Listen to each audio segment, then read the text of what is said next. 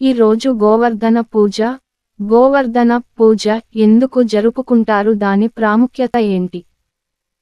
గోవర్ధన పూజ అనేది దీపావళి ఐదు రోజుల పండగ పూజలలో ఒక భాగంగా ఉంది. మరియు ఇంద్రుడిపై శ్రీకృష్ణ భగవానుని విజయం గౌరవార్థం ప్రశంసించబడుతుంది. ఇది దీపావళి యొక్క నాలుగో రోజు జరుపుకుంటారు. గోవర్ధన పూజ దీపావళి తర్వాత రోజు శ్రీకృష్ణుడు ఇంద్రుణ్ణి జయించిన రోజుగా పండుగ జరుపుకుంటారు.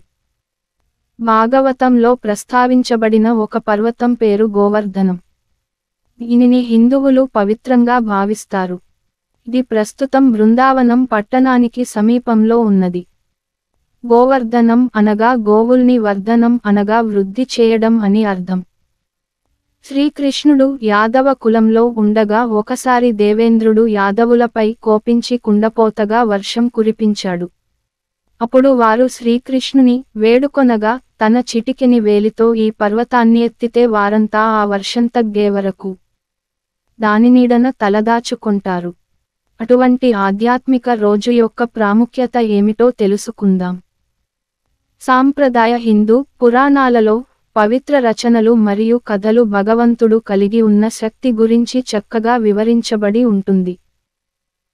పూర్వం బృందావనంలో వర్షాలు బాగా పడేందుకు సస్యశ్యామలంగా ఉండేందుకు ఇంద్రభగవానుడికి వర్షదేవుడికి పూజలు చేసేవారు. కాని పక్కన ఉన్న గోవర్ధనగిరి బృందావనంను ఉద్ధరిస్తుంది గోవులను పాలిస్తుంది. అలాంటి గోవర్ధగిరిని పూజించకుండా ఇంద్రుడిని పూజించడం ఏంటని నిలదీస్తూ గోవర్ధన కొండను ప్రార్థించమని శ్రీకృష్ణుడు అభయమిచ్చాడు. ఇది చూసిన ఇంద్రుడు దిగ్రర్భాంతికి లోనయి కోపంతో ఆ ఊరిని తీవ్ర వర్షంతో ముంచేయమని వరుణ దేవుడికి ఆజ్ఞాపిస్తాడు. జలప్రళయం వచ్చి బృందావన ప్రజలను ముంచి వేసి అనేక జీవనాధారాలను ముంచివేసింది. అయినప్పటికీ కృష్ణభగవానుడు వెనక్కి తగ్గలేదు. తన చిటికెనవేలితో గోవర్ధన్గిరిని ఎత్తివేసి నివాసులను గోవులను కాపాడాడు.